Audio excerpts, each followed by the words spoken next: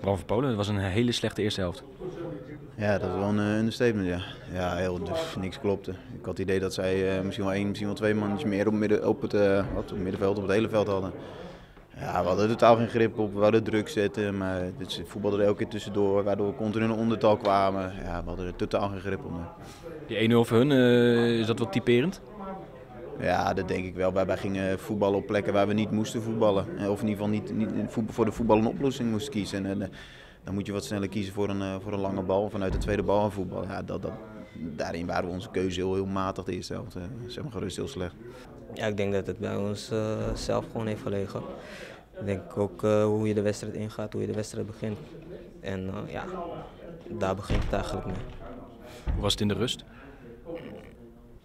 Um, ja, er werd wat gezegd en uh, duidelijk ook. En er moest wat veranderen. En uh, ja, daar moeten we zeker uh, naartoe werken.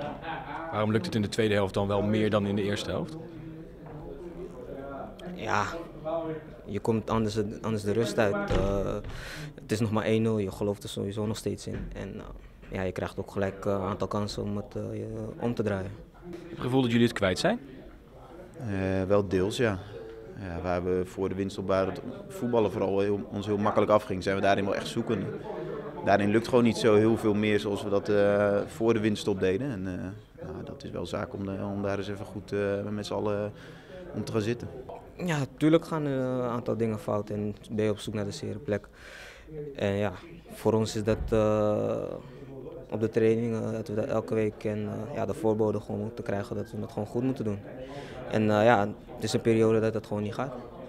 Hoe kun je dat omzetten? Is, is dat lastig? Ja, het is, het is lastig, maar je moet sowieso uh, ja, de trainingen die, die je krijgt, die moet je gewoon goed uh, invullen. En ja, buiten dat begint het gewoon bij de focus. Op de trainingen en in de wedstrijden, hoe je een wedstrijd begint, daar begint het bij. En je weet dat een uh, aantal ploegen meer gaan strijden en ons beter gaan bes willen bespelen. Ja, als voetballen dan niet lukt, dan zou je het misschien op, op kracht kunnen doen, maar daar, daar ontbreekt het dan ook aan, hè? Ja, kijk, we hebben natuurlijk niet het meest uh, fysieke elftal. Dat, uh, dat hebben we eigenlijk nooit gehad. Uh, wij moeten wel van ons voetballen hebben. Maar goed, vanuit de tweede bal en anticiperen op een tweede bal, ja, dat, dat moet wel kunnen met, met, met ons team. Hoe kun je dit op korte termijn ja, omzetten? Ja, we gaan morgen maar eens even goed met elkaar zitten. Ik zeg, tweede helft, dat, dat, dat biedt wel een beetje houvast. Maar ja, zo, blijf je continu bezig. Weet je, het is elke keer één helft. Tegen VV was de eerste helft, was de tweede helft matig. Het wordt wel weer tijd dat we dat gewoon een keertje helemaal uh, een goede wedstrijd af gaan leveren.